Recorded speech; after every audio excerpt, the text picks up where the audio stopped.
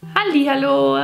Da mein letztes Video ja bei einigen von euch für ein paar Fragezeichen gesorgt hat, dachte ich, ich gebe euch heute einfach ein kurzes und schnelles Update zu meinem Gesundheitszustand und zu dem, was sich so getan hat in den letzten Tagen. Als allererstes aber nochmal ein riesiges Dankeschön an die vielen, vielen Nachrichten, die mich von euch erreicht haben. Nicht nur unter den Kommentaren hier, sondern auch auf Instagram und Privatnachrichten. Also vielen, vielen Dank dafür, dass ihr so groß Anteil genommen habt an dem, wie es mir einfach in den letzten Tagen und Wochen so ging. Eigentlich war für heute gar kein äh, Schwangerschaftsupdate oder so ein Video geplant, aber was ich euch natürlich auch noch nicht vorenthalten möchte, ist die Namensverkündung.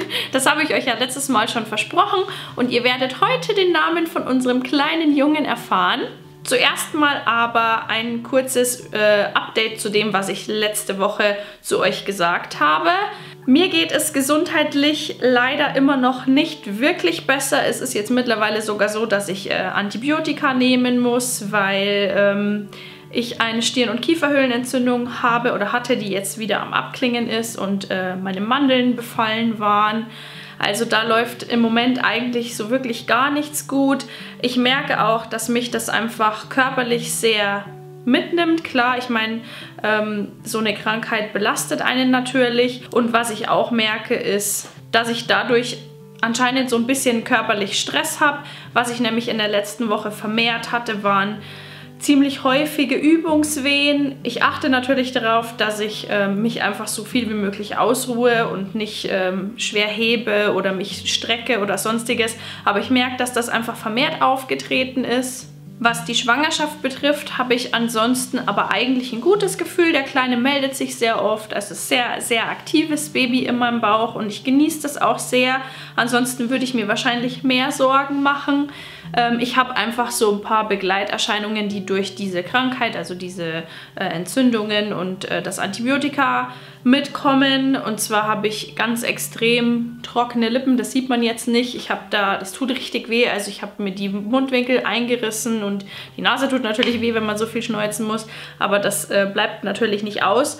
Und noch eine unangenehme Mitbegleiterscheinung, die bei Antibiotika bei Frauen häufiger vorkommt. Aber ich finde es in der Schwangerschaft halt doof, weil ich, mich da, weil ich mir da einfach Sorgen mache, ist, ich habe mir noch einen Pilz eingefangen. Das ist nichts Schönes und das ist vielleicht auch TMI für viele von euch, aber ähm, durch das, dass einfach das ganze Immunsystem dann geschwächt wird und einfach die Flora da nicht passt, ähm, habe ich das jetzt auch noch. Also da ist irgendwie noch nicht so alles wirklich gut und ich hoffe, dass das einfach bergauf geht, weil ich mir sehr wünsche, dass ich die letzten Wochen der Schwangerschaft in Ruhe und vor allen Dingen gesund genießen kann. Zu meiner mentalen Verfassung muss ich sagen, äh, ist es jetzt nicht unbedingt klarer als noch vor einer Woche. Also ich ähm, habe den Rat von vielen von euch angenommen und werde meinen Frauenarzttermin vorverlegen und auf jeden Fall äh, den, die früher konsultieren und mir da einfach Rat holen.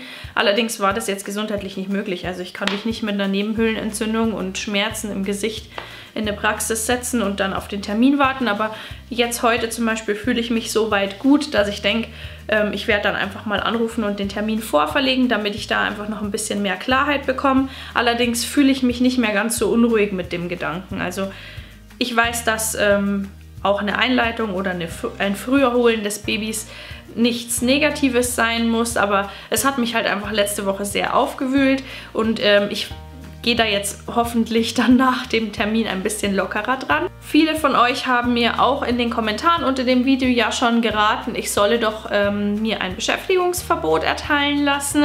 Das ist natürlich was, über was wir uns Gedanken gemacht haben. Ich habe allerdings da auch mit meiner Arbeitgeberin noch nicht drüber gesprochen und auch mit der Frauenärztin nicht, weil ich, wie gesagt, noch nicht da war. Aber ich denke, dass ich das auf jeden Fall mal ähm, ansprechen werde. Ich war bei Mia im Beschäftigungsverbot auch schon ab der 25. oder 24. Schwangerschaftswoche, weil ich acht Stunden stehend gearbeitet habe und es halt keine Möglichkeit gab, nicht stehend zu arbeiten.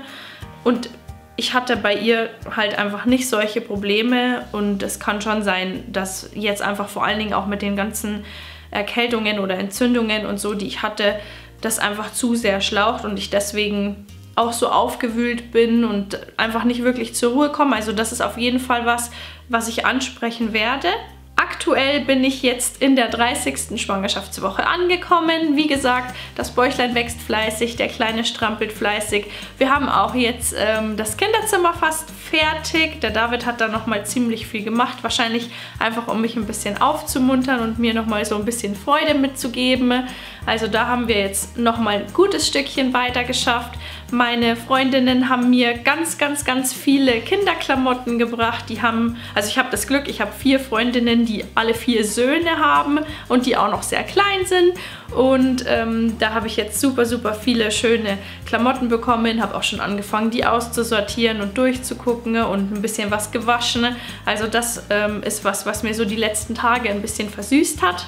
Meinen Bauchumfang habe ich vor einer Woche gemessen und auf Instagram gepostet. Der ist bei 107 cm, also ein ordentliches Bäuchlein, eine ordentliche Kugel.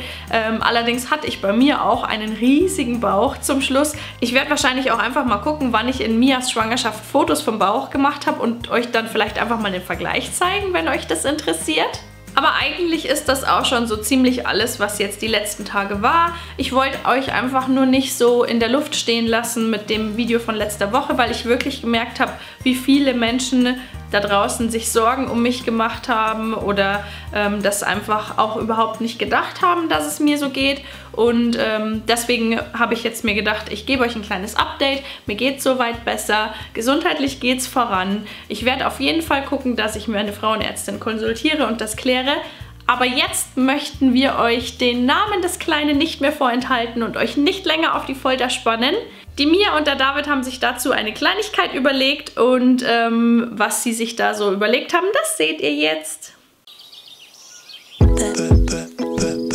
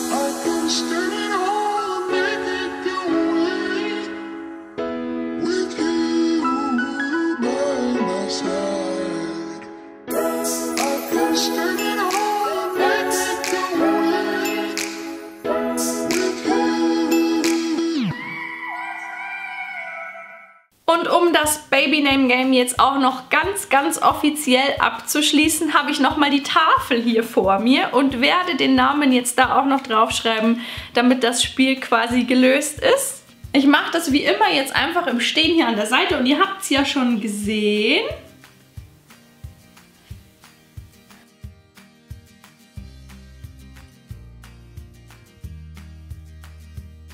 Unser kleiner Rabauke wird ein kleiner Samuel. Wir freuen uns natürlich riesig, dass wir dieses Geheimnis jetzt lüften können. Es war gar nicht so einfach, das äh, vor allen Dingen in den normalen Videos, wo Mia da ist, zu verheimlichen, weil sie den Bauch immer liebevoll Baby Sami nennt. Und dann war es nicht leicht, das immer rauszupiepsen oder zu verblenden, was sie sagt. Wir freuen uns riesig ähm, auf unseren kleinen Samuel. Es ist schön, den Namen jetzt auch aussprechen zu dürfen weil wir das ja sonst privat auch machen. Wir sagen ja nicht nur Baby oder unser kleiner Junge, sondern wir nennen ihn beim Namen. Es hat mich auch riesig gefreut, dass so viele von euch mitgespielt haben und natürlich auch schon richtig geraten haben. Also vielen, vielen Dank dafür, dass ihr da so toll mitgemacht habt. Ich wünsche euch einen wunder wunderschönen Tag. Genießt ein bisschen die Sonne. Das Wetter wird ja jetzt besser und ich hoffe auch, dass wir ganz bald wieder auf unserem besten Level sind und die ganzen schönen Tage genießen können.